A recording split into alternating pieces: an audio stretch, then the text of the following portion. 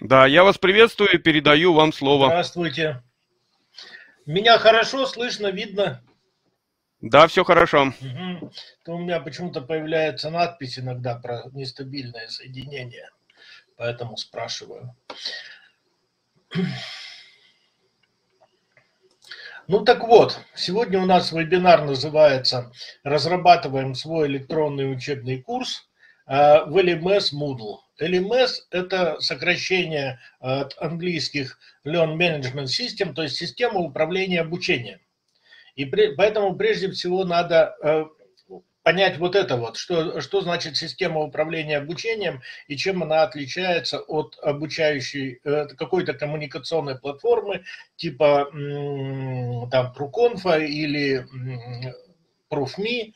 Вот, поэтому вот э, прежде всего мы будем, будем раскрывать вот это, чем, для чего предназначен Moodle и зачем он нужен. Ну, начнем с того, что мы с вами так получилось, что мы живем в информационную эру. Вот. Информационная эра наступила тогда, когда информация стала ресурсом. Ресурсом она стала тогда, когда стала отчуждаемой от носителя. То есть, когда появились легкие способы, быстрые способы передачи информации, хранения информации, коммуникации и так далее. И вот с этого момента информация стала ресурсом, потом она стала, потом она стала продаваться, потом она стала оружием и так далее. То есть это сейчас уже полноценный ресурс, который можно использовать в совершенно разных а, областях и совершенно разным назначением.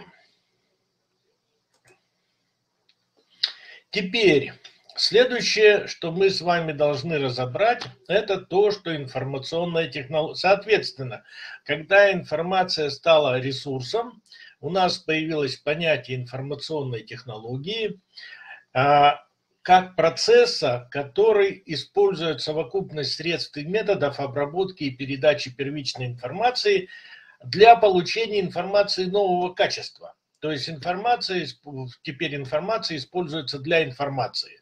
И поэтому у нас с вами в рамках темы курса, в частности, мы будем э, рассматривать, например, каким образом то, что то, э, тот контент, который создает студент, можно использовать для анализа цифрового следа, э, как с этой информацией работать. То есть у нас с вами наступило время, когда информация используется для получения инфо новой информации.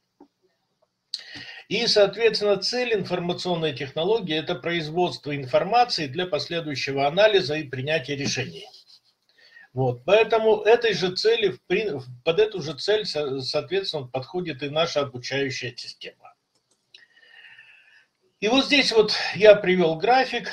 Здесь видите график производства контента, э, который растет пока что, пока что не видно, что он выходит на стадию насыщения, то есть создаются, создается огромное количество сайтов, создается огромное количество информации, производится контент, и вы, в принципе, как преподаватели, которые будут создавать свой учебный курс, вы тоже включаетесь в этот процесс и создаете, создаете свой контент, которым будете наполнять курс. Следующее, что мы должны четко понимать, принцип, что обучение – это коммуникация. И здесь опять мы можем провести четкую грань между э, электронной, э, между системой управления обучением и системами коммуникационными, коммуникационными платформами, которые часто есть Zoom там и так далее. Значит, первое, на первом рисунке что мы с вами видим? Мы с вами видим прямую коммуникацию между педагогом и учеником. А с развитием электронных технологий стала возможна синхронная коммуникация на онлайн-платформах. Когда онлайн-платформа объявляет дату какую-то и в согласованное время на эту платформу выходят и общаются между собой а, преподаватель и э, слушатели, и преподаватель им начинает какую-то рассказывать информацию. Эта информация может быть записана может быть записано, но все равно это не будет система электронного обучения. Это будет просто электронные ресурсы, которые записаны. Вот. А система электронного обучения, она сочетает в себе все вот эти вот, э, все вот эти варианты, когда у нас, во-первых, есть синхронная коммуникация, то есть мы вот как сейчас участвуем в вебинаре. Когда у нас есть асинхронная коммуникация, то, что вам э, Павел говорил, что вы заходите на сайт наш Директ Академии, и там увидите уже тысячу записей вебинаров. Вот. Что это огромная база знаний. И вот теперь, теперь, когда вот этот ресурс накоплен, появляется необходимость в том, чтобы этим ресурсом управлять. И для этого как раз были э, разработаны вот э, системы управления обучением. Они были разработаны для управления теми информационными ресурсами, которые сейчас накоплены. И обучением, и для управления процессом обучения, информационными ресурсами управления процессом обучения. Значит, ну, не надо думать, что тут вот есть небольшая историческая ссылка, не надо думать, что, собственно, вот э, дистанционное обучение, применение каких-то технологий, помимо вот такого живого общения, возникло в нашем в 21 веке. На самом деле это все возникло достаточно давно. А, есть вот пример еще в 1728 году когда э, некий Калиб Филлипс э, разместил в бостонской газете объявление о наборе студентов на свои курсы стенографии и бухгалтерии. И он сообщал, что э, все граждане, желающие получить навыки, могут быть обучены так же прекрасно, как если бы они жили в Бостоне с помощью нескольких уроков, еженедельно представляемых по почте. То есть вот тогда была почта, тогда можно было написать письмо, отправить его респонденту, и таким образом педагогическая коммуникация, она все равно проходила. То есть нельзя сказать, что вот э, в принципе что-то как бы в самой идее вот, дистанционного обучения, какого-то электронного обучения заложено что-то новое. Оно, оно, в общем, так где-то всегда было, сейчас просто это приобрело достаточно большой размах. Вот, э, потом появились средства, когда можно было повысить скорость связи, например, вот применялись уже давно в Австралии в 60-е годы обучение по радио применялось с помощью радиосвязи. А вот это ускоряло, конечно, процесс обучения, вот делало его более динамичным, более быстрым. Поэтому исторические предпосылки для всего этого были. Вот, теперь мы перейдем, давайте, собственно, к чему? Э, к обучению.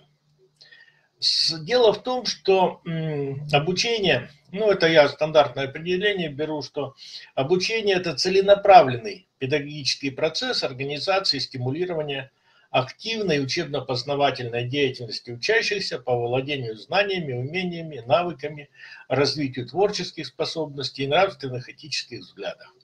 То есть здесь подчеркивается то, что процесс целенаправленный. И если этот процесс целенаправленный, то, соответственно, нужно чтобы этим процессом, во-первых, кто-то э, была поставлена цель э, э, в этом процессе, и во-вторых, чтобы этим процессом кто-то управлял, чтобы появился кто-то, который вел к этой цели.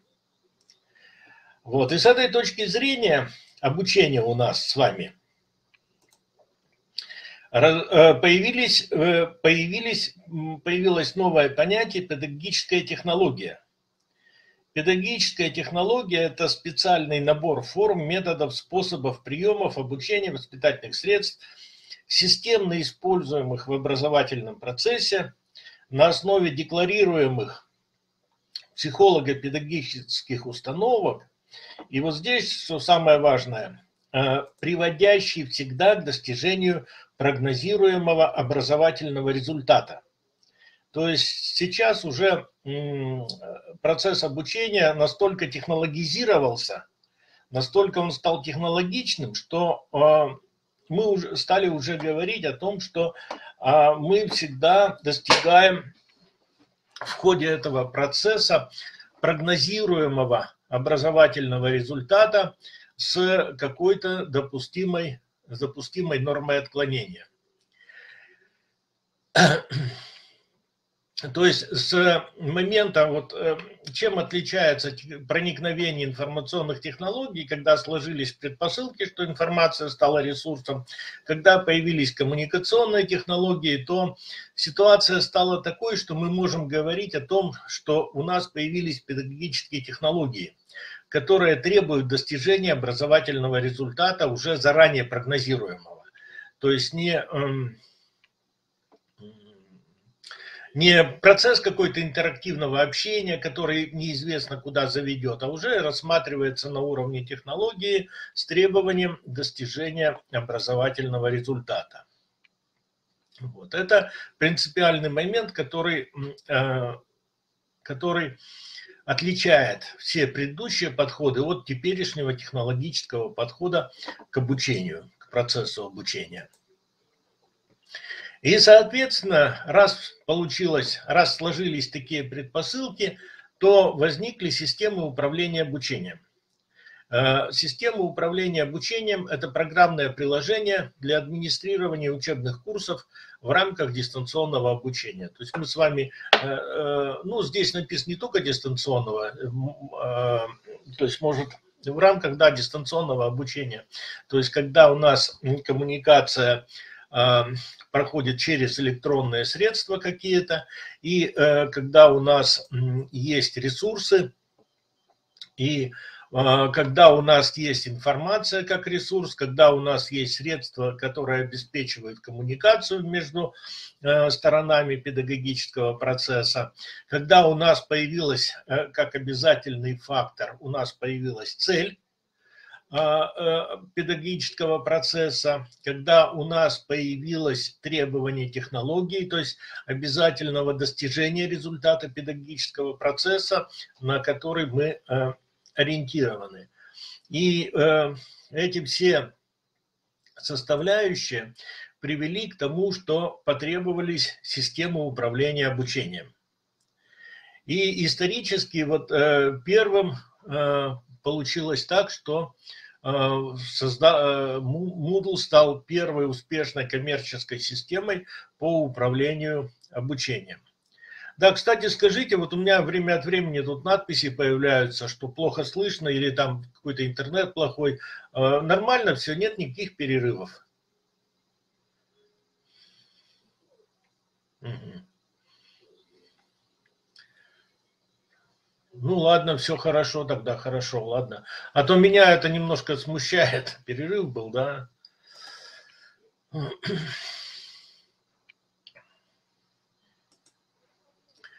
Вот, так вот, мы остановились на том, что системы управления обучением, они стали востребованы, и э, создался такой новый класс информацион... программного обеспечения информационных систем, которые направ... называются системы управления обучением.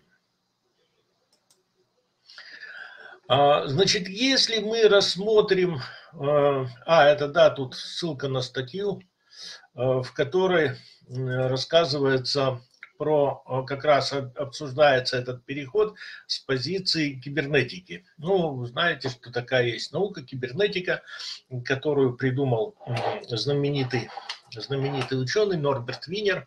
Вот, э, кибернетика – это наука об управлении и э, управляющих процессах, о связи.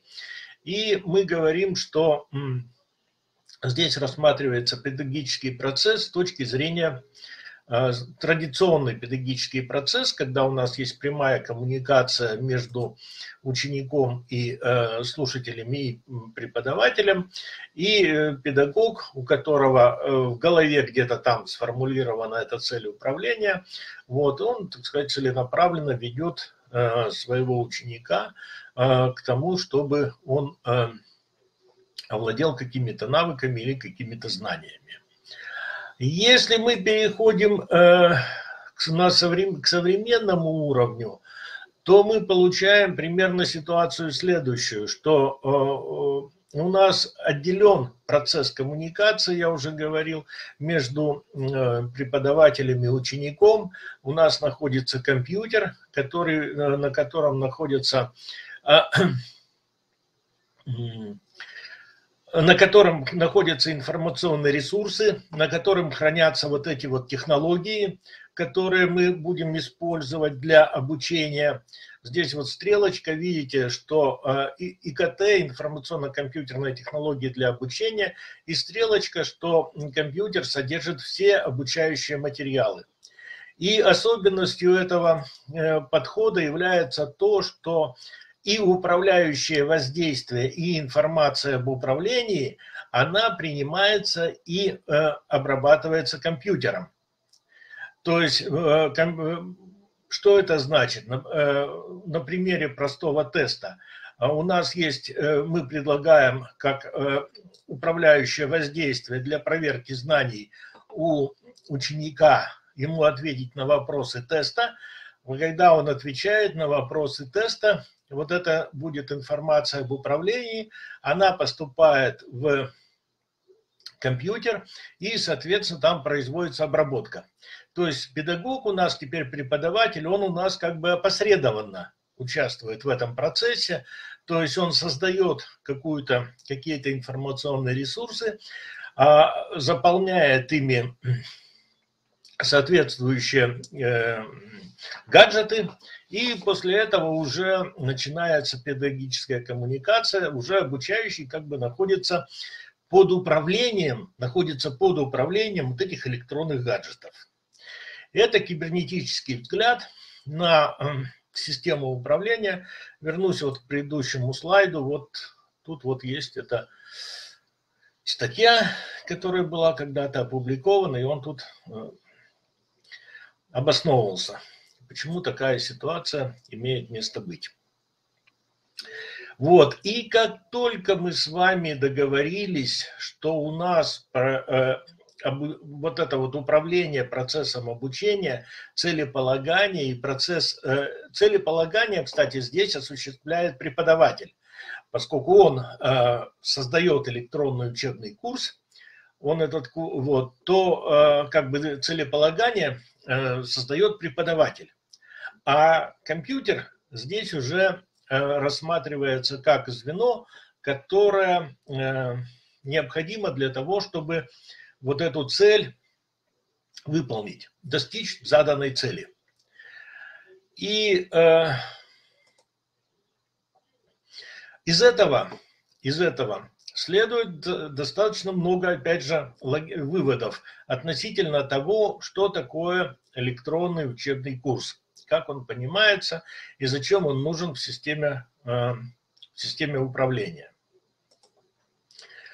Значит, э, я лично, то есть это, это моя, моя личная авторская точка зрения, вот, я считаю, что поскольку, поскольку Э, управление в этой системе обучающей осуществляется компьютером, то мы рассматриваем достижение курса, э, сам электронный учебный курс мы рассматриваем как алгоритм, как алгоритм, по которому обучается студент.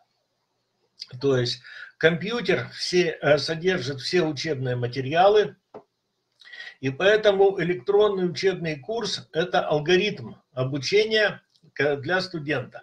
То есть, когда мы с вами проектируем электронный учебный курс, то мы э, в голове проектируем, как студент будет по нему учиться. И поскольку мы проектируем, как будет происходить это обучение, то сам электронный учебный курс мы можем рассматривать как алгоритм. То есть студент должен э, провести какие-то разбить, э, мы материалы разбиваем по темам, и студент производит какие-то действия в соответствии с тем, как мы спроектировали процесс обучения, как мы предполагаем, что он будет происходить. Ну, для того, чтобы, для того, чтобы было понятно, что такое алгоритм, мы скажем, что Э, алгоритм – это понятие, которое, опять же, заимствовано из математики, из кибернетики. А, происходит оно от имени арабского математика Аль-Хорезми, и которое, называ, и которое представляет собой совокупность точно заданных правил решения произвольного класса задач или набор инструкций, набор инструкций или набор точно заданных правил, или набор инструкций, описывающих порядок действий исполнителя по решению некоторой задачи. И фактически у нас так и получается, что мы рассматриваем нашего студента, который слушателя пришел, который пришел на курс, как исполнителя, который будет исполнять наши инструкции, фактически. Инструкции мы ему даем разным способом. Мы выкладываем презентации, мы выкладываем электронные учебные курсы и ждем от него определенного ответа на, наши, на то, что мы ему дали, на, на ту информацию, которую мы ему дали, которую выложили, вот, и он должен дать на нее определенный ответ. Фактически это и есть понимание того, что электронный учебный курс является алгоритмом. По сути дела, мы проектируем алгоритм, а электронный курс как, учебный, как алгоритм, по которому должен действовать студент. И это еще такой подход, он еще полезен тем, что мы, получаем, мы понимаем теперь, как э, зафиксировать результат интеллектуальной собственности.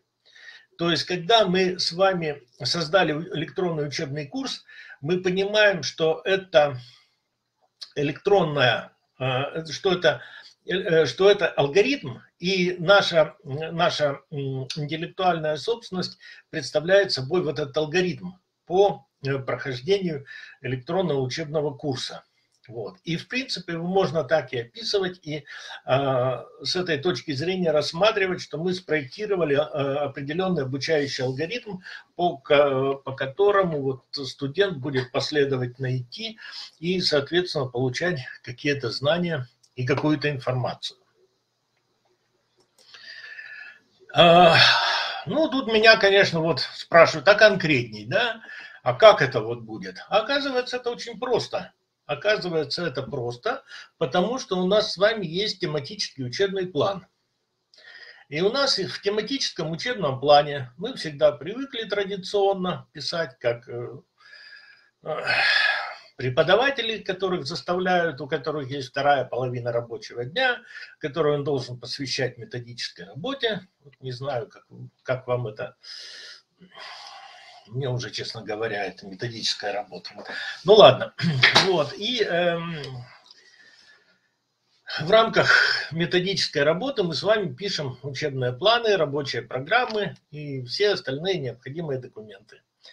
И в тематическом учебном плане у нас написана тема 1, содержание, и мы пишем там в теме 1 будет то-то, то-то, то-то. Тема 2, Тут вопрос спрашивает, информация про LMS Moodle будет, будет ли? Да, я немножко расскажу про, конечно, сейчас чуть-чуть еще и расскажу. Мы перейдем э, к обсуждению структуры учебного курса, э, который, поэтому там определенная информация будет. Вот, но э, она не, не будет очень подробной, потому что если хотите подробную информацию, то там подробно можно ее будет разобрать только а, в рамках этого обучающего курса. Вот, и мы с вами а, раскрыли содержание темы, вот, а потом мы непосредственно переходим к алгоритму. А, значит, каждая тема у нас заменяется на шаг алгоритма, содержание, в качестве содержания, вместо содержания мы пишем «выполнить действие». Выполнить какой-то набор действий, перейти к шагу 2, это тема 2. Снова выполнить какие-то действия э, и э, снова перейти к следующему шагу. Вот фактически как бы тематический учебный план, он э, фактически один в один перекладывается в алгоритмическую структуру. И в рамках алгоритмической структуры, э, в рамках этого алгоритма э, мы создаем и проектируем учебный курс. А, теперь, что из себя представляет э, маленькая вот эта единица, которая здесь была на слайде «Выполнить действие». Вот здесь «Выполнить действие», она представляет из себя следующее. Мы считаем, то есть Это типичный шаг алгоритма. Предоставить информацию студенту, получить обратную связь, принять решение, освоен материал или нет, и принять решение допустить слушателя к следующему э, шагу. Можно ли э, именно вопрос, именно про Moodle про практику его применения? Давайте поговорим, почему нет. Ну, просто практика применения, э, она не, э, как бы сказать, для понимания практики применения надо понимать его возможности. А чтобы понимать возможности, вот мы должны э, немножко тут про это. Ну, я сейчас тут тогда быстро пройду это. Значит, типовые элементы для выполнения действий. Мы можем предоставить информацию. Для того, чтобы предоставить информацию, у нас в Moodle есть следующие элементы. У нас есть элемент файл, который называется, мы туда можем вложить презентацию, можем вложить эм, какой-то какой файл PDF, какой-то учебник, методическую, методичку или еще что-то. У нас есть элемент страница, вот, куда мы вкладываем, э, куда мы, собственно, вставляем текст вот, у нас есть элемент книга, куда мы вставляем несколько, создаем такой краткий конспект чего-то. Вот, у нас есть элемент лекция. Лекция у нас э, в Moodle это самый сложный элемент. Э, в нем, в нем есть э, как текстовая информация, так и вопросы э, тестовые. И в зависимости от вопросов, которые, которые есть, которые мы задаем, мы можем э, программировать траекторию прохождения этой лекции. То есть, если студент не, не ответил на какой-то вопрос неправильный тестовый, мы можем его повторно вернуть к этой странице или вернуть к предыдущей странице. То есть, мы это впрямую, как раз лекция впрямую вот как раз показывает те возможности алгоритма, про которые я рассказывал. Она, она прямо содержит в себе определенный алгоритм. Вот, есть э, глоссарий, можно создавать, причем глоссарий можно использовать в двух вариантах, чисто как глоссарий, так и э, проверочное средство. Вот, можно создать подкасты, ролики, семинары. Для получения обратной связи у нас есть элементы форум, есть элементы задания, есть элементы семинар. Форум, э, да, кстати, еще вот я хотел вернуться и э, к вопросу о том, можно ли именно про Moodle и практику его применения. Вот если вы хотите вопросы про практику его применения, ну, лучше бы вы сами еще какие-то вопросы задали, которые вас интересуют, и я вам в конце на них отвечу. Значит, э, что такое форум? Форум в Moodle – это э, элемент, который содержит множество возможностей, его можно использовать как просто форум для обратной связи, а я его использую как контрольное средство для получения э, отклика студента по заданной теме. В нем можно выставлять оценки, можно, делать, э, можно сделать, чтобы студенты делали групповые задания в этом форуме. Вот. Э, э, есть элемент задания. Форум и задание, они отличаются друг от друга тем, что форум – это элемент, э, на, в котором все студенты видят ответы друг друга. А задание – это элемент, в котором студент не видит только свое задание и переписку, с, коммуникацию с преподавателем. То есть посторонним это недоступно. И в зависимости от того, как вы смотрите на педагогический процесс, а, вы можете использовать либо тот способ, либо другой.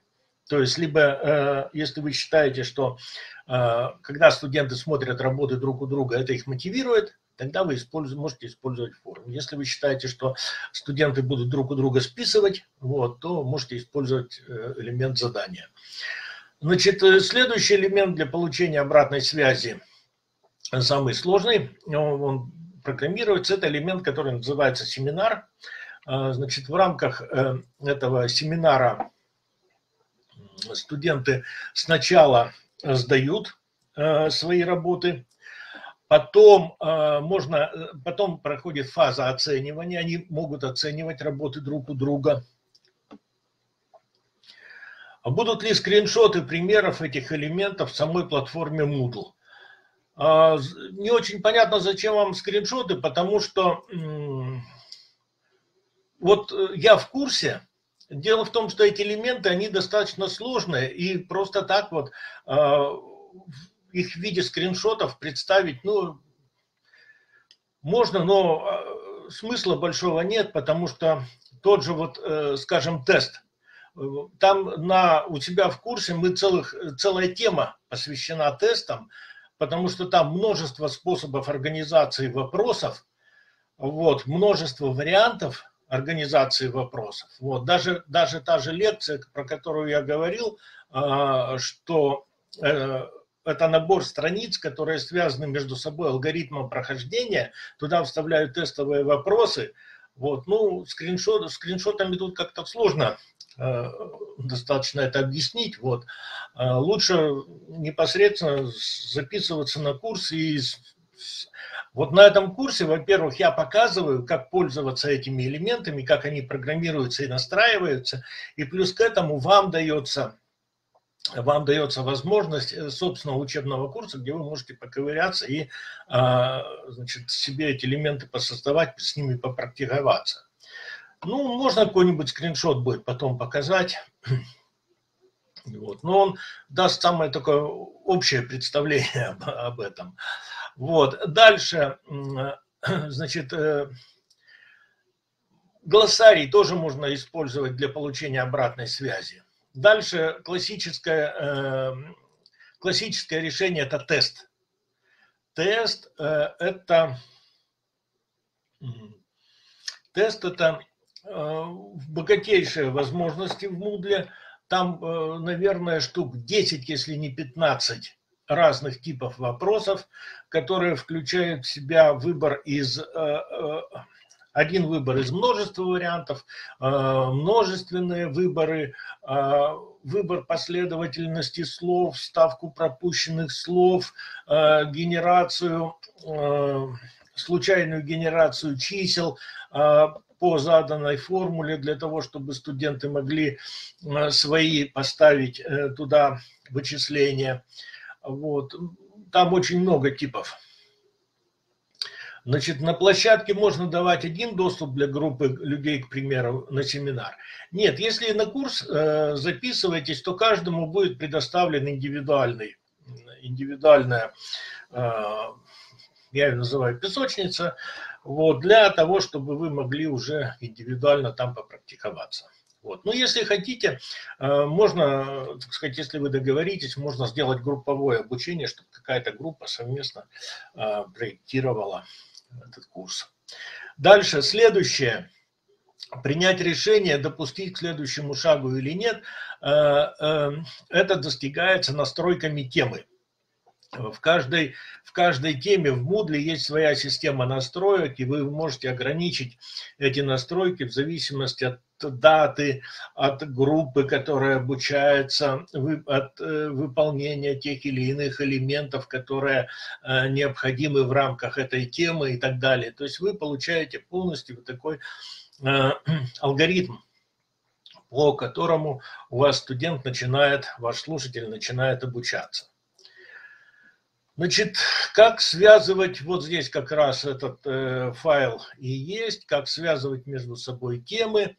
А, значит, тема, когда завершается, у нее проводится проверка, можно поставить условия, а, условия, что, по которому принимается решение, что эта тема завершена, вот, и условия, тут множ, и можно студента дальше пропустить к следующей теме. Вот. Э, есть условия по дате, по профилю пользования, по выполнению контрольного элемента. Можно полностью отключить эти проверки. Иногда, так сказать, эти проверки все полностью отключают. Но это вопрос э, такой не, не очень простой и, и выходящий за рамки Moodle, потому что техническая возможность такая есть, то есть предоставить сразу всю информацию вот, студенту, чтобы он э, какие-то мероприятия выполнял. Но вот у меня э, в прошлом году я обычно делаю последовательно всегда курсы, чтобы открывалось, открывался следующий после того, как выполнен предыдущий. Ну и в прошлом году я поддался на уговоры, снял все эти ограничения, открыл доступ ко всему. Э, в результате у меня получился следующий эффект, когда студенты вместо того, чтобы последовательно выполнять каждое задание, они там последовательно их выполняют, а в конце должны все задания собрать и написать отчет, итоговый отчет. Они, конечно же, э, сделали так, что стали все писать сразу итоговый отчет, вот, э, собственно, не выполнив до конца э, задание, которое им предлагалось. Вот, итоговый отчет все быстренько понаписали и посчитали, что они, в общем, все по этому курсу сделали. Поэтому это техническая возможность так есть такая, но значит, как, как пользоваться, это зависит от того, как вы проектируете процесс обучения. А, значит, теперь немножко об учебном курсе. У нас, э, значит, полный объем 72 часа взаимодействия слушателей с помощью интерактивных элементов. Там можно через форум взаимодействовать, плюс предусмотрены вебинары, которые проходят 2 часа в неделю и будут доступны на постоянной основе. А, в курсе 10 тем, материалы можно сохранять по желанию пользователя. Да, э, а в Moodle, что ли, да, вот вопрос, есть журнал оценок. В Moodle, да, есть журнал оценок, он настраивается а, в зависимости от того, как вы настроили шкалу оценок, в зависимости, не совсем понял, кого куда выгрузить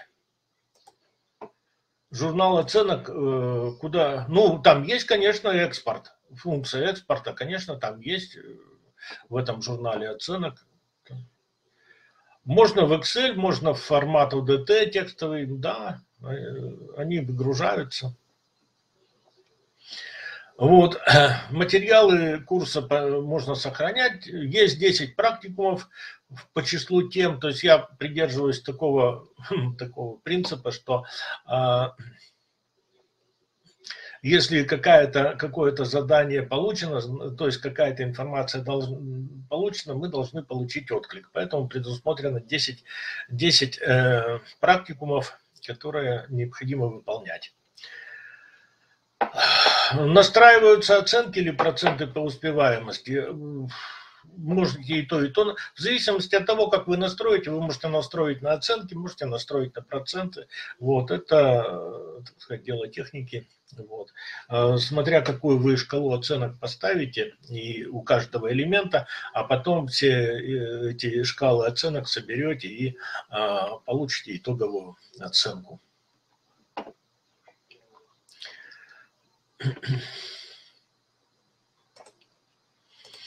Значит, тема первая. Ну, тема первая – это вводная часть. Значит, здесь вот такая лекция как раз, она, может быть, более подробно отчасти повторяет э, что-то из того, что я сказал. Вот. Но э, самое главное, что там э, еще рассказываются принципы разработки разработки Moodle, а, поскольку в основе, в основе этой разработки лежат определенные принципы, которые ее создатель а, заложил. И э, для того, чтобы программировать, создавать этот курс, надо понимать эти принципы, которые там заложены, чтобы сделать процесс обучения более современным. И, а все эти принципы, они как бы определяют форму определяют форму, определяют отчасти содержание электронного курса. Вот, и эти принципы надо понимать. Следующее и, соответственно, вот практическое задание, там работа с глоссарием. Я, кстати говоря, забыл еще сказать э, в списке элементов, что там можно установить дополнительные элементы. И э, есть э, элемент, который называется словесные игры – туда, и там в составе этих словесных игр есть такая штука, которая называется кроссворд.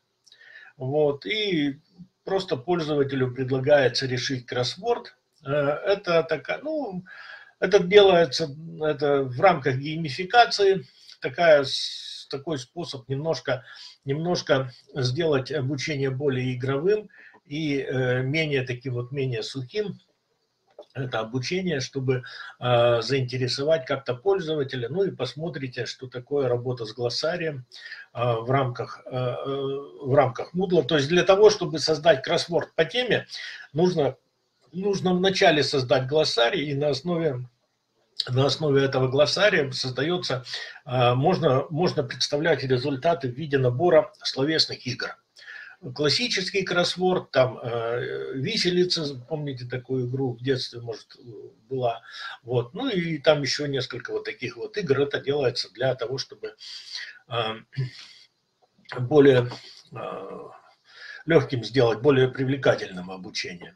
Потом э, идет тема вторая в этом курсе. Здесь рассматривается э, педагогический дизайн электронного курса, Сейчас у нас множество появилось разных, э, я сейчас перестал следить уже там за этим рынком, но одно время появилось множество педагогических дизайнеров, которые стали рассказывать о своих способах проектирования курса и так далее. Вот. А, но а, я, я здесь привожу свою, опять же, авторскую трактовку этого понятия, как оно проектируется. Вот. Э, в основном делается упор на разработку концепции.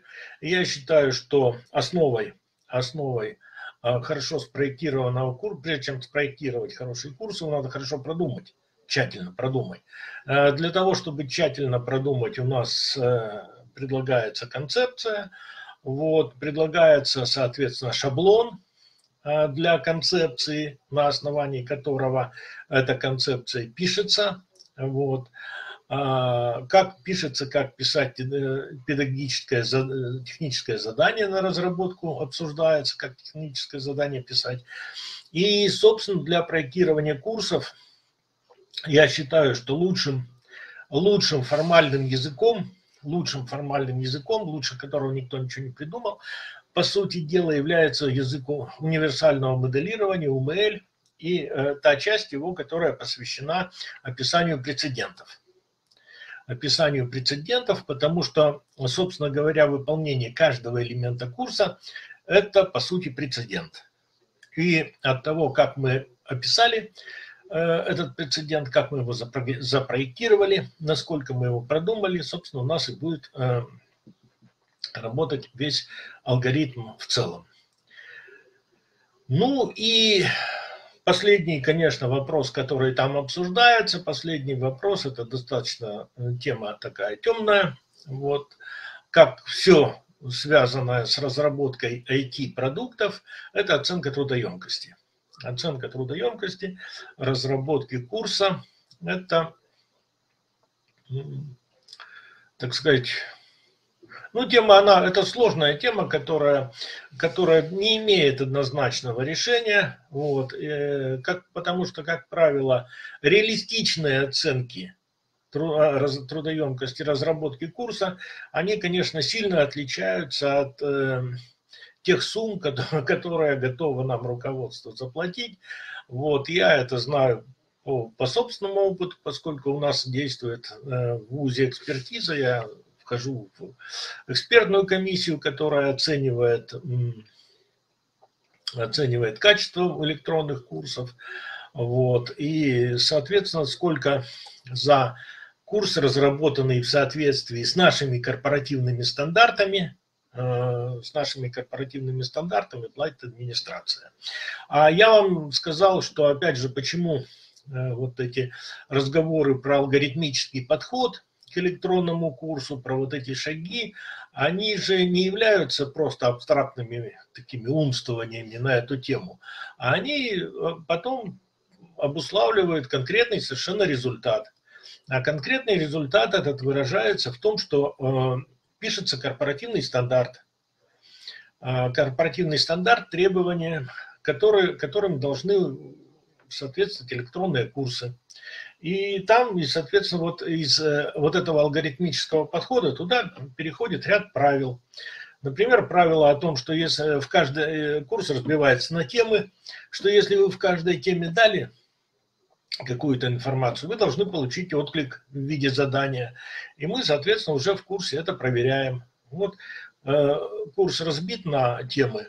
Значит, в каждой теме есть э, какое-то задание, которое должен выполнить и так далее. Вот, то есть я хочу сказать, чтобы вы не воспринимали вот эти вот разговоры про алгоритмические подходы и про все прочее, как некие абстрактные умствования.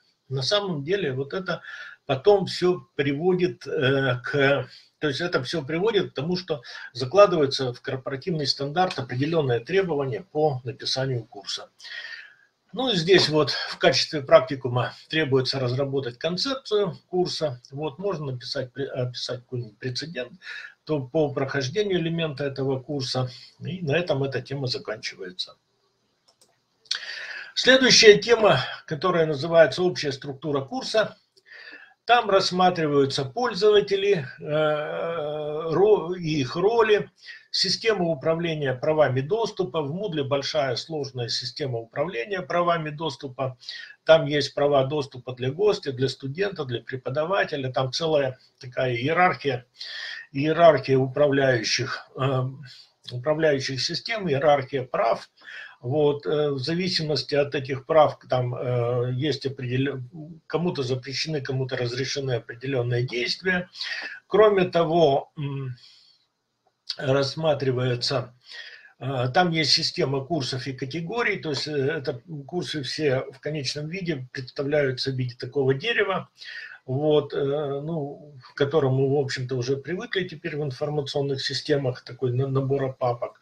Вот, и дальше потом рассматривается система, структура этого учебного курса в Moodle, система настроек учебного, учебного курса, вот, правила хорошего тона, что я называю, ну, я их, э, почему называю правилами хорошего тона, потому что, во-первых, они вот э, взяты из общего вот этого алгоритмического подхода, плюс к этому я, поскольку участвую в конкурсах, э, время от времени каких-нибудь на разработку электронных учебных курсов и смотрю э, те, те корпоративные стандарты, которые там есть, вот, чтобы э, собрать свой, свои общие требования, свой общий э, создать свой общий корпоративный стандарт по разработке учебного курса. Ну и потом в качестве практики вот вам а, вы будете закреплены за своим, вам будет предоставлен определенный такой пробный курс, в котором вот потребуется оформить шапку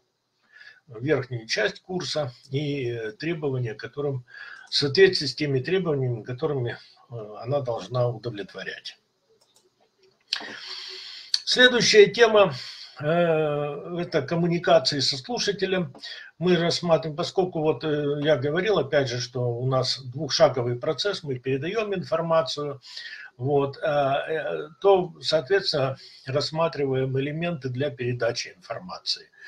То есть как осуществляется коммуникация со слушателем, как делается передача информации, какие элементы для передачи есть. Мы с вами уже про них отчасти говорили, что это файл, страница, книга, лекция, глоссарий. Глоссарий тоже очень такой э, интересный элемент в Moodle, э, поскольку его можно использовать в нескольких, э, в нескольких вариантах. Можно чисто глоссарий, можно как элемент для передачи, можно как элемент для контроля информации. Вот. И, соответственно, блок-схема для проектирования лекций. Каким образом можно проектировать алгоритм э, по, э, по лекции, по прохождению элементов, как вставлять туда в лекцию э, элементы тестовые, как потом проектировать в зависимости от того, как, ты, как студент ответил на тот или иной вопрос, э, проектировать пути дальнейшее прохождение курса. Вот. Ну, это, э, я не знаю даже, вот по практике, я даже с трудом представляю себе случай, когда... То есть лекция это настолько мощный, сам по себе вот настолько мощный, э, настолько мощный элемент, что он полностью в, в этих функциях, он может заменить собой тему. То есть он настолько мощный и самодостаточный, вот, что можно всю тему заменить как бы вот одним элементом и э, в его рамках всю, всю, весь этот цикл провести. Вот, и поэтому сейчас мы как-то пришли к более простой схеме, когда мы все-таки используем все вот эти более простые элементы, а для получения обратной связи используем вот э, те возможности, которые там есть. Ну и в качестве практикума здесь предусматривается создание каких-то собственных элементов. Это может быть файл, страница, книга, лекция, глоссарий. Вот можно попрактиковаться в создании тех элементов, с помощью которых информация подается студенту. Следующая тема э, – это второй шаг этого алгоритма, это обратный шаг этого алгоритма э, коммуникации со слушателем, каким образом мы можем получить от него обратную связь. Здесь можно тоже несколько выделить элементов в Moodle, которые будут показывать, как получается обратная связь. Здесь уже есть задание форум, есть анкета, можно, э, можно тот же глоссарий использовать для получения обратной связи. Значит, э, я уже говорил, что задание – это элемент, в котором вы, это лично, элемент для личностной коммуникации преподавателя со студентом, в котором эту, этот процесс коммуникации недоступен посторонним. Хотя в его рамках можно организовать и групповую работу. То есть группа может оформить задание э, совместно и его выложить. Вот. И групповая работа – это вообще отдельная, отдельная тема, там можно про нее тоже достаточно долго рассказывать, как организовать групповую работу в Moodle. Вот, то есть это элемент индивидуальной коммуникации. А форум – это элемент для коллективной коммуникации когда вы э, создали какое-то задание, и э, в рамках коллективной коммуникации все студенты предоставляют все студенты предоставляют ответы, и ответы одного студента видимы для э, других студентов. Вот.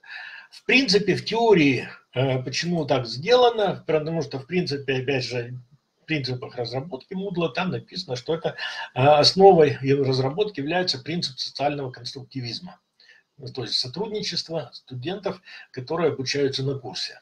Вот. И поэтому, если вы, так сказать, встраиваетесь вот в, в эти педагогические воззрения, тогда, соответственно, вам надо принимать решение, как у вас э, группа в целом обучается, она пользуется принципами социального конструктивизма или нет. Вот. Следующий элемент – это анкета – анкета – это элемент хороший в том плане, что мы, а, я рекомендую, опять же, ее использовать в двух. Во-первых, у нас в любом с вами э, профессиональном курсе, где кто-то писал профессиональные программы на получение образования, там есть такое, такое понятие входной контроль. Входной контроль и выходной контроль. И, скажем, вот для этого удобно использовать анкету.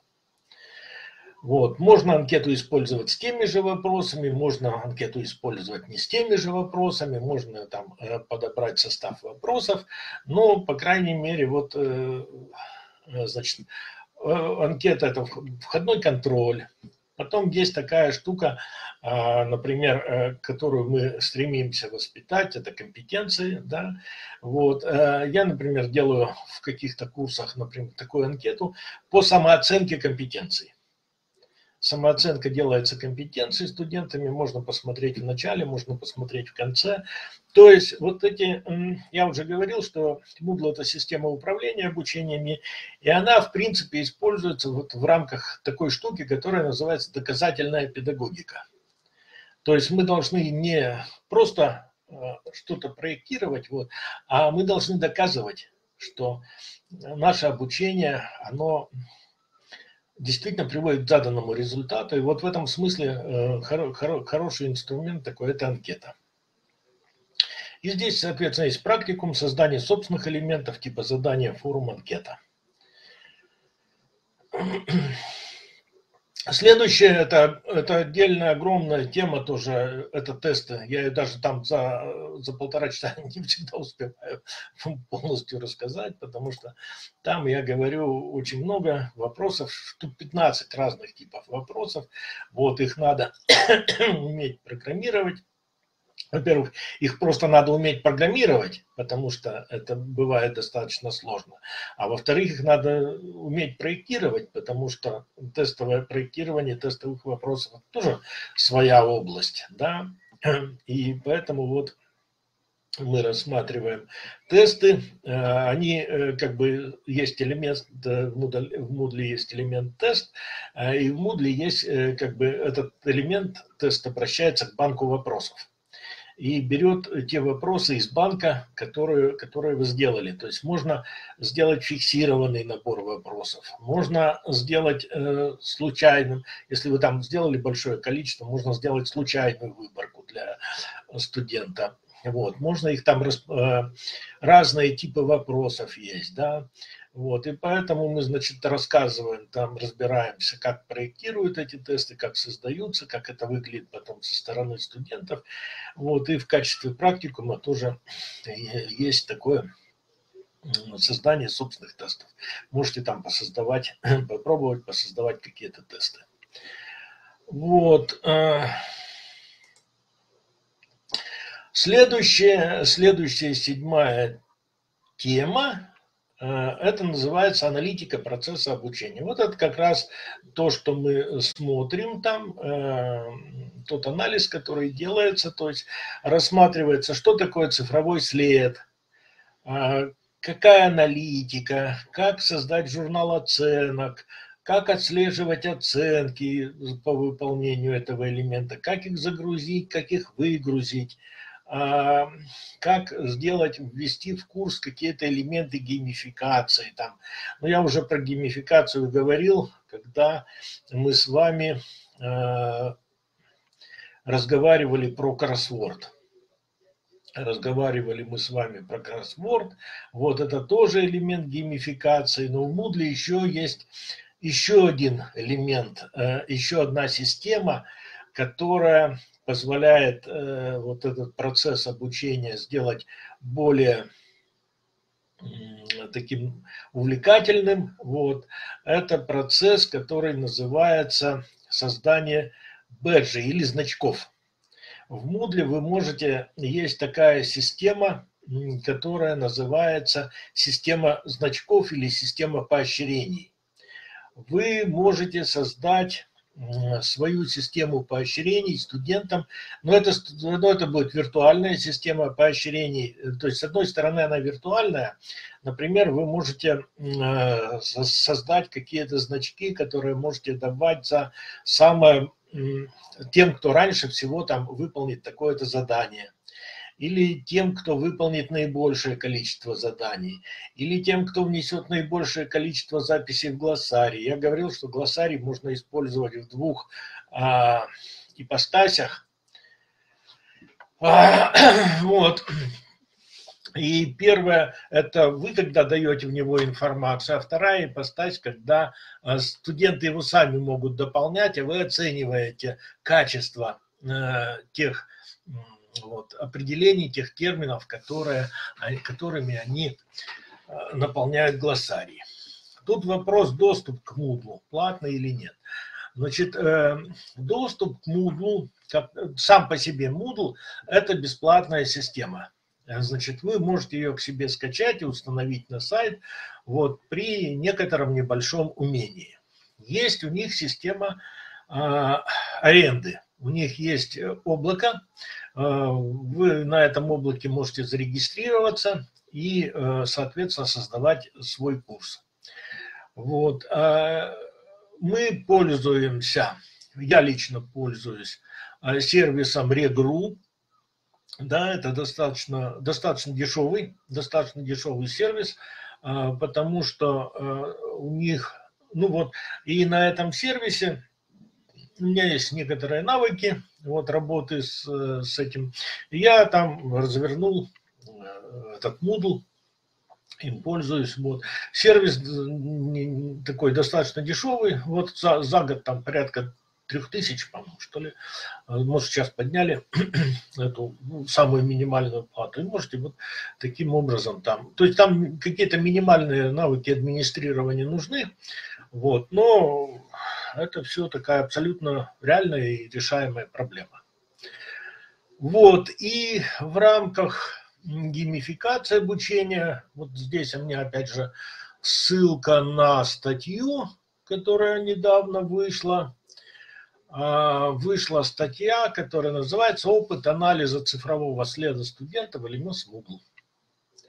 Вот, можно посмотреть, там достаточно хорошо написано, значит, спрашивают, надо покупать хостинги. Да, совершенно, домен можете не покупать, но это будет просто такая сложная, сложная длинная ссылка, которую сложно запоминать. Вот.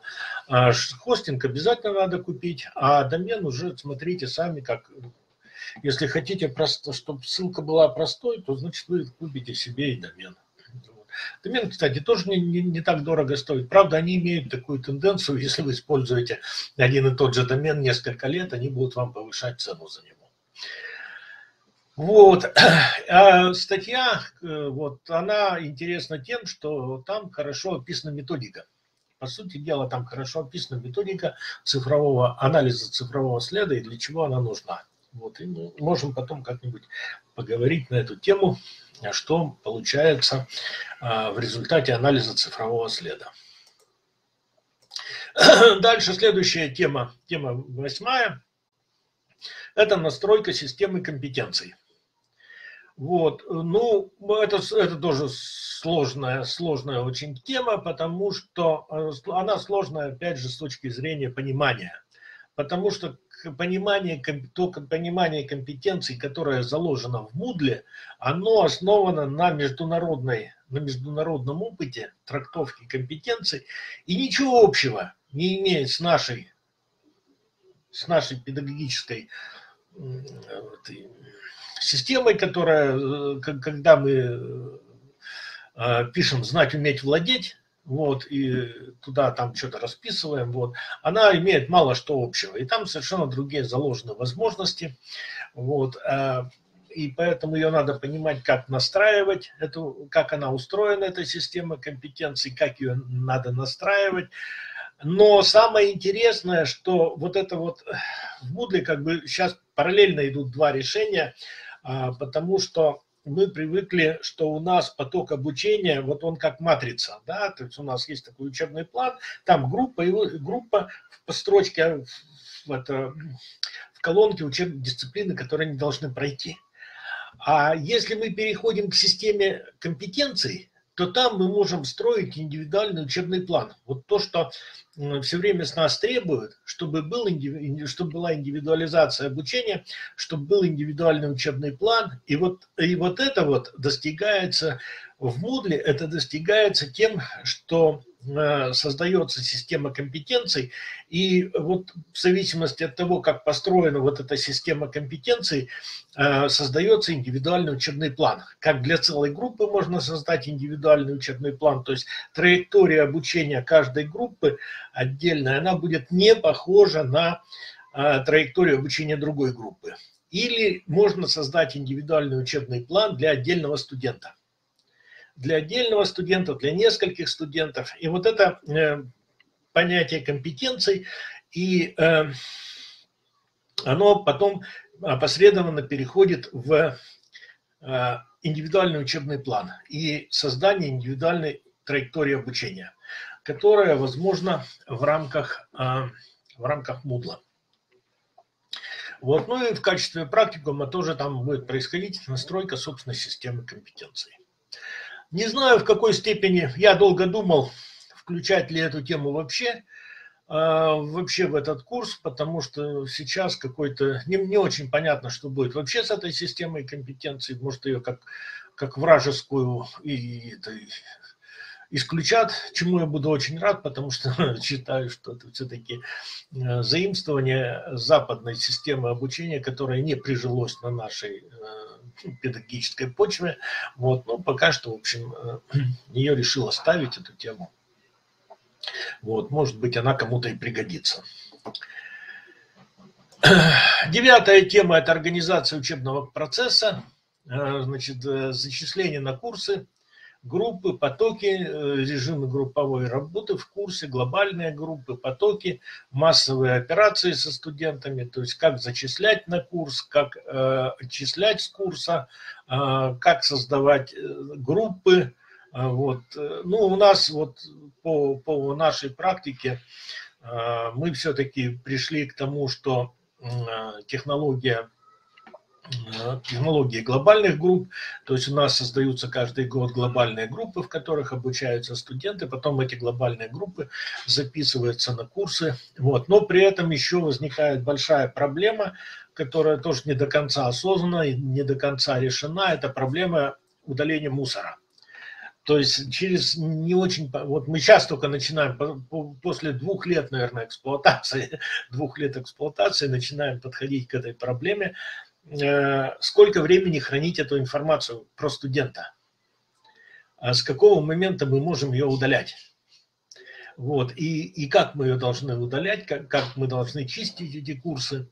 Вот, и это тоже требует э, своего обсуждения, требует создания своего технологического регламента э, по работе вот. Э, ну, в общем, тоже э, этому посвящена вот отдельная тема, а, как, когда, как это все обрабатывать, как организовать этот процесс, как, организ... как разделить права доступа между преподавателем, который и деканатом, должен ли деканат там контролировать преподавателя, как он проводит этот учебный курс, или не должен, только должен смотреть, что должно получаться. В общем, тут много достаточно таких практических вопросов, которые можно рассматривать. Ну и последняя тема курса – это электронный учебный курс как интеллектуальная собственность. А, потому что сейчас все создают учебные курсы, вот, и э, мы с вами должны понимать, как регистрируется как регистрируется интеллектуальная собственность, как регистрируется, как оформить, как, что такое интеллектуальная собственность на учебный курс, как ее оформить, а, каким образом, а, каким образом каким образом зарегистрировать, вот, э, и, например, вот мы рассматриваем, каким образом зарегистрировать в РИНЦ. У меня в РИНЦе есть зарегистрированный электронный учебный курс э, для примера, и я, так сказать, готов, могу этим опытом поделиться, каким образом его там регистрировать. Ну вот здесь вот вопрос, что общего э, с Google Classroom. Я, к сожалению, с Google Classroom не, не сильно знаком, не, не, не провожу в нем обучение, но э, я, насколько я понимаю возможности, Google Classroom это просто некая платформа, где вы выкладываете какие-то электронные учебные материалы, вот, э, и получаете какой-то с этого отклик. А Moodle это полноценная система управления обучением, которая включает не только возможности выложить материалы, но и управление групп, то, что я говорил, управление группами, потоками, э, журнал оценок, компетенции там, ну и так далее. То есть это большая, больш, очень большая такая функциональная, очень функциональная система управления обучением. Ну и последнее, там пара административных вопросов.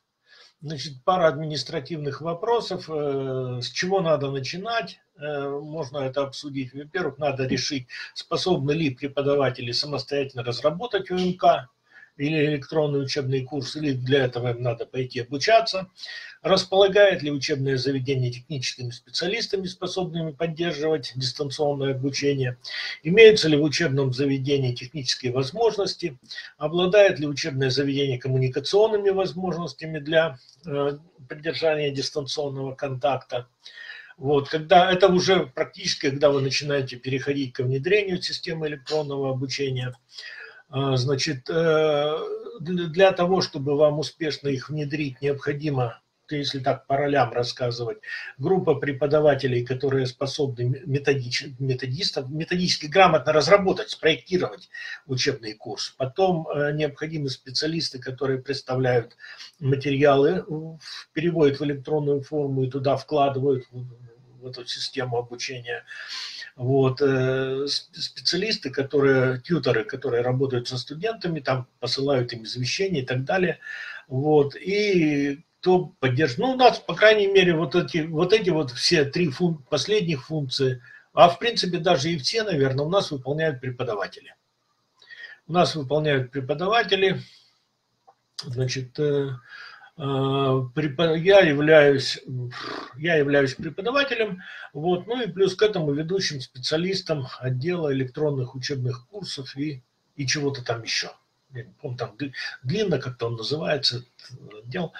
А, вот, и в мои обязанности входит, значит, мы установили э, Moodle, провели обучение преподавателей, я проводил вот как раз по вот этой структуре, там у нас порядка 250 человек, э, прошло обучение, э, после этого наши программисты у нас на сервер установили Moodle, вот, и после этого я уже, наш отдел стал то есть э, разделение труда, дирекция, так сказать, она преподавателей давит, стимулирует, да, то есть э, кто ленится разрабатывать, тех давит, кто разрабатывает, тем немножко платит за разработку учебного курса.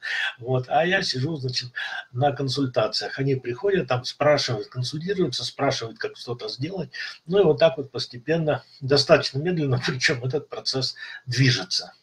Вот. На сегодня у нас, по-моему, 35 Э, процентов от необходимых учебных курсов переведено в электронный вид. Ну, и, соответственно, вот мы там над этим работаем. Ну, здесь вот последний раз, когда я участвовал в, в онлайн-курсе, вот тут диплом есть, чтобы вы не, не, не сомневались в квалификации. Ну, здесь вот можно, в принципе, написать. Вот, и э, Павел Калиников, он организует учебный курс. Вот, поэтому давайте, какие есть ко мне вопросы.